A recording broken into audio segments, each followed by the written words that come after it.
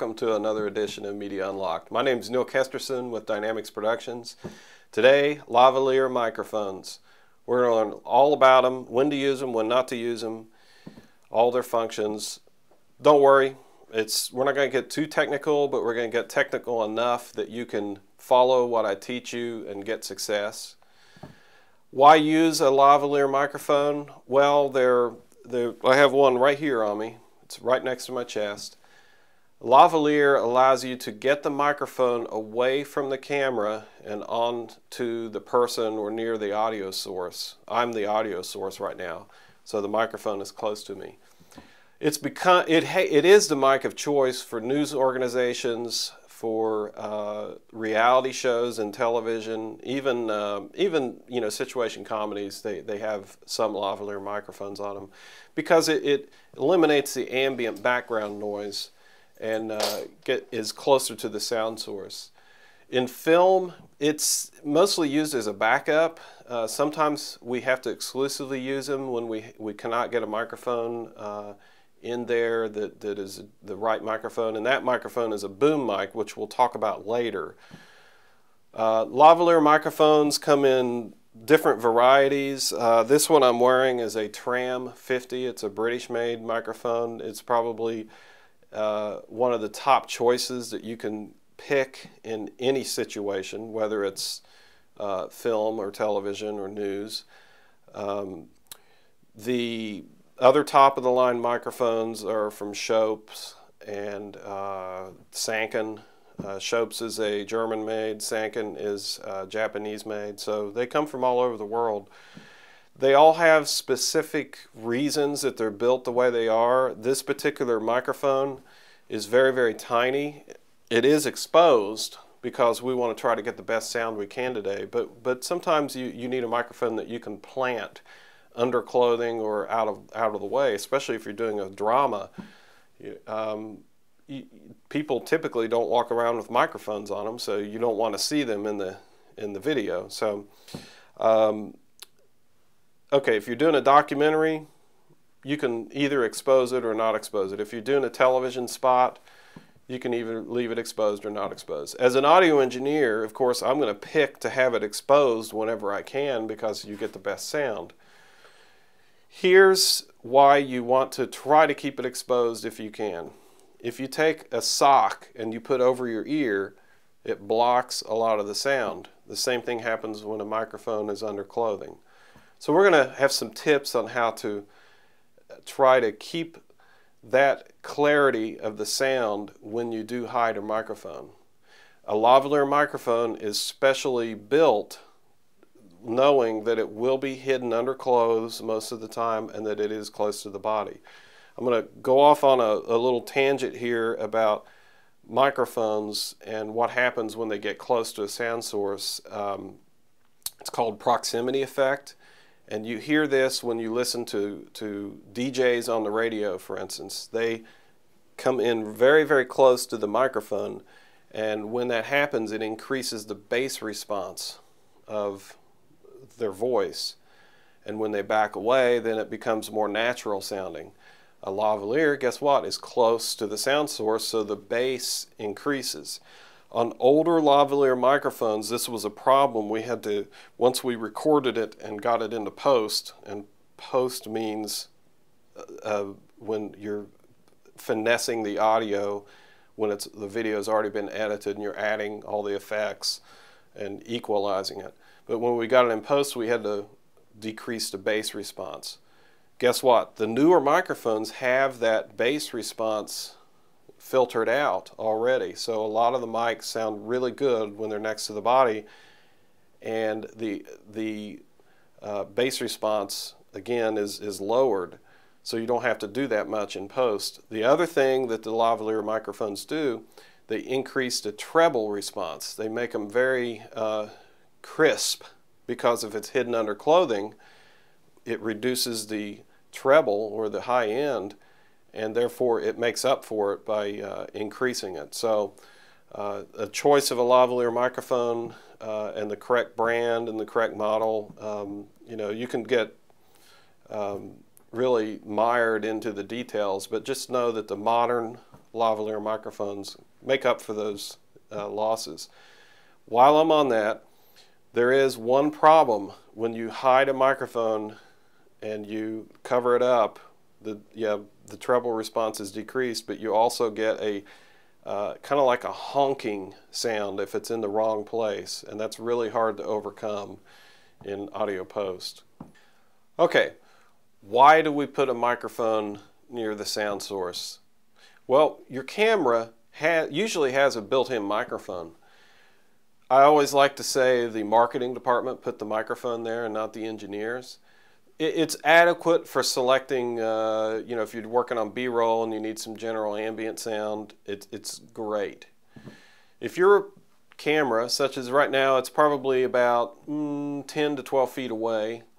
The microphone on the camera is 10 to 12 feet away. The microphone on me is 6 to 8 inches away. Which one do you think is going to have the better sound? The one on the camera is going to pick up more than my voice is going to pick up the entire room, the reverb, the air conditioner, the lights. The other thing, it will pick up noise on the camera. Say you're, you're focusing, uh, you're using image stabilizer. If you're shooting on, on videotape, it will pick up the sound of the motor of the tape running. There's all kinds of problems with, with the microphone on the camera. Don't use it. Just simply don't use it. I get a lot of productions in my shop where I have to try to clean up audio where it was a camera mic and not a, a close mic such as a lav. And people want miracles. They want it to sound like this mic does, not that mic. And it just is impossible. I can remove some of the background noise, but I cannot make it sound closer. I cannot do wonder work on it. No one can.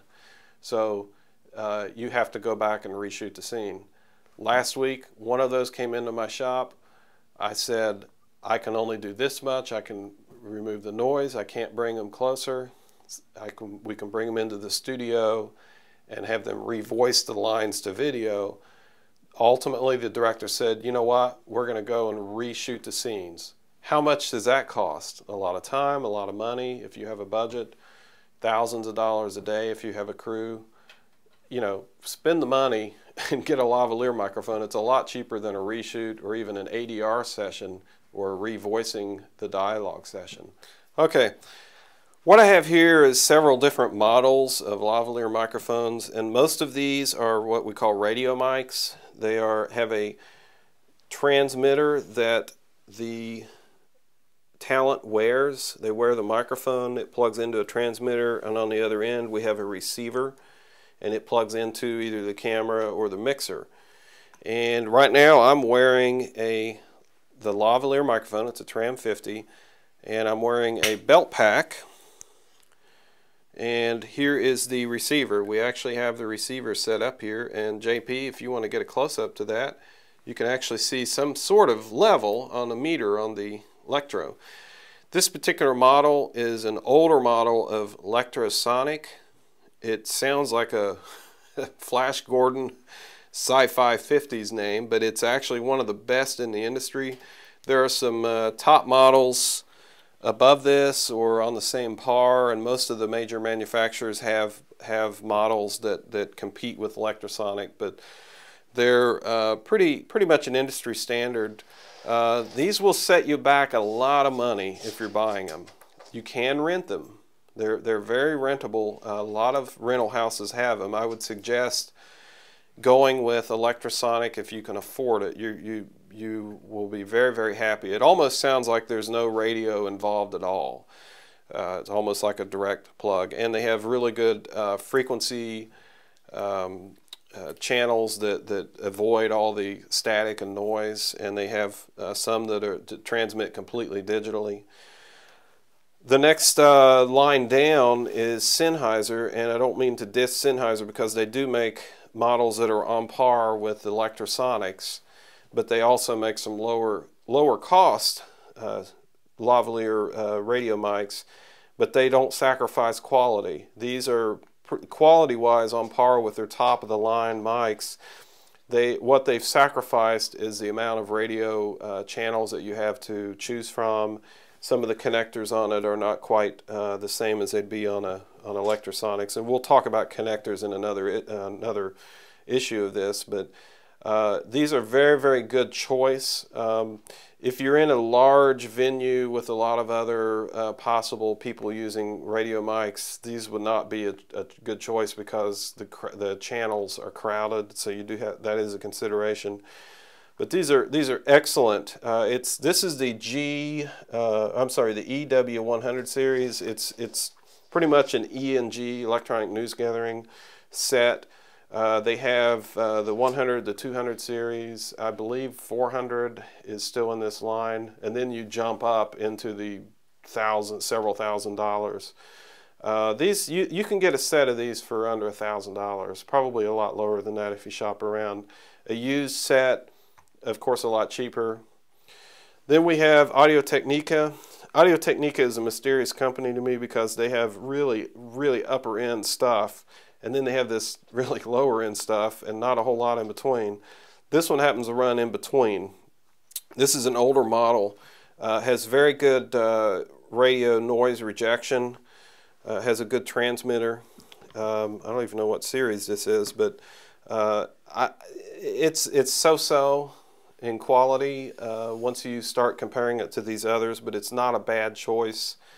Um, I would be careful if you're picking Audio Technica to make sure that you get something that is a little bit more competitive in price with these upper end ones. You won't be dissatisfied.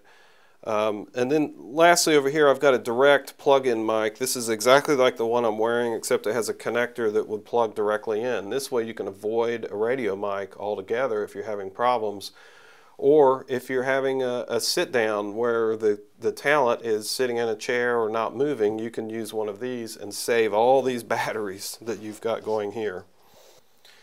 Okay, we've talked about the different kinds of lavaliers. Now we're going to talk about how do you mount a, a lavalier. Okay, the one I have is on the outside. We talked about why that was good. And what I've done is I've created a broadcast loop in it now I'm going to touch the wire and you're going to hear this sound. You should probably hear that. I'm trying to eliminate that sound by on the back, JP, and it's going to be muffled. You're going to hear the, the pitfalls of a lavalier. I've got the wire coming up and I'm, I'm grasping it with this claw on this alligator clip. Okay, sorry for the problems. You, I know you heard one of the problems of lavaliers and its handling. Here's what a broadcast loop is. The wire coming from the plug all the way up to the head of the microphone is a transmitter of sound, like a guitar string. Any kind of movement down here is going to vibrate and come up and rattle, and you're going to have that scratchy sound any microphone you have, whether it's a studio microphone or a lavalier microphone, is going to have that problem of the cable transmitting sound up through there. So we have to isolate that. A lavalier microphone is especially susceptible to that sound about a thousand times more than a studio microphone because it's so tiny and it's, it's picking up tiny, tiny sounds. So we, our intent is to get the cable touching at a short place right below the head of the microphone so that any sound that body movement, clothing movement comes up here and it gets absorbed with this shock absorber. So all we have left is this little bit in the microphone head itself that could cause us potential problems. So however you have to do this, we can, you know, we can just create a loop like that if you need to. I don't really generally like to have uh, the, the, knots in my cables, but you can certainly do that. You can use a clip like this to hold it down inside the clothing. This is a, a vampire clip. It simply clips on the end of the cable like that, carries it, and that, that usually is a shock absorber. I generally like to tape it on the inside. Make sure that JP can get me here.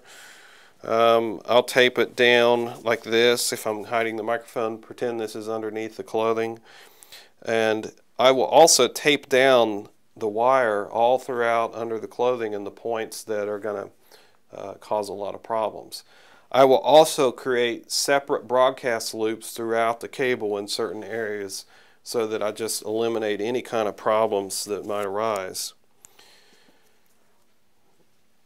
This is gaffer tape. This can really be your friend. This is not duct tape. It's gaffer tape. It is a cloth-based tape that uh, you can put it on clothing, you can put it on concrete, you can put it on wood, you can put it on anything, and it won't leave a residue. You, you have to leave it on for years before it leaves a residue. Duct tape, we all know, it just it rips paint off.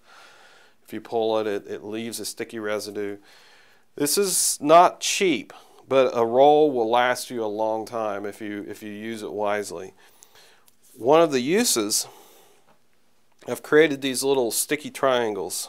You basically take a, a little patch of tape and sticky side out you roll it like this you just keep rolling it this is a probably a too long of a piece but you get the idea of how this works and it's hollow inside. So what I'm going to do, I'm going to grab a piece of cloth here. we will pretend that this is clothing we're going to hide it in. Now, I'm not going to put a broadcast loop in this, but just assume there's one in there. And on a mic head like this, which is a lot smaller, this would work better. But this is for demonstration purposes. We're going to place this one of these on the mic head, being careful not to cover the air holes which control the sound. We're going to take another one and put like this and on the inside of the clothing can you get that JP? Yeah. We'll mount it like this and stick the clothing down to it and then we've created a little bubble for it you have to put it in the right place on the clothing. You have to have your actor go through all their motions to make sure where the clothing is going to bend and where it won't bend. So if I were to have to mount this microphone inside under my clothing, I might mount it, come up this way, right underneath here or here. Now, I'm not wearing a t-shirt. If you can get them to wear a t-shirt, that's great. Otherwise, it's going to go up against bare skin, or you can put it in between uh, here or even down here. If they're wearing a tie, you can sometimes stick it under the tie. You can put it up under the collar. So if, if the camera's on this side, I would probably put it on a collar on this side. If I put it on here or underneath here, the camera will see it.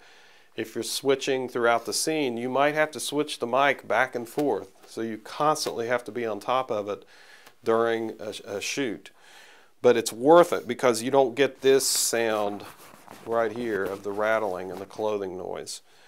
Um, and you want to face the mic, try to face the mic towards the sound. It would. This is an omnidirectional mic. The one down here is an omnidirectional mic, but these trams and other mics, but especially the trams, also come in directional. So you can actually point them towards the sound source and eliminate a lot of the, the other sounds. Another tool is bobby pins. You can bobby pin the, the wires to different places in the clothing throughout. Um, and you, there's a there's a, a, company called Countryman, and they make lavalier microphones that the head of the microphone is the end of the wire. They have no bulb on the end. It's just, if it is, it's very tiny. You can plant that microphone almost anywhere in a button. You can put it in someone's hair. I've actually put microphones in someone's hair uh, because the, the whatever clothing they were wearing or weren't wearing didn't allow me to put a microphone in a great place. Uh, so you, you have to improvise, and every actor and every scene and every shot is different. You, you, one setting will not work throughout. The last thing that you'll need is another roll of tape, which I don't have with me. It's surgical tape. Uh, a lot of people are allergic to tape. You can put uh, gaffer tape right on skin. It doesn't bother my skin, but some people that have sensitive skin do. So it's good to have just a roll of surgical tape in your kit so that if you have to tape it down to someone's body, you can do it. And again, uh, you're going to have to stay on top of it throughout the day. They're under hot lights, they sweat, the surgical tape comes loose. So about every 10 minutes or so, go and just check it. Just make sure that it's still attached. Um, it, it, it, you have to be fussy with a lavalier microphone in order to get good results. You can't just plant it once in the beginning of the day and hope that it uh, keeps working. One last thing about shooting under hot lights and a lavalier microphone that's planted uh, beneath the clothing, they uh, collect moisture and like anything, moisture dampens the sound and your lavalier can actually stop working. So if you can, in between, if it, there's a half hour between takes, take it off or pull it out and let it dangle out in the air as the actor is going to get coffee uh, just to dry it out. And uh, it's good to have a spare on, on hand because they will fail under hot lights after a period of time. Next time on Media Unlocked, boom mics. We're going to have a lot of fun. Stay tuned.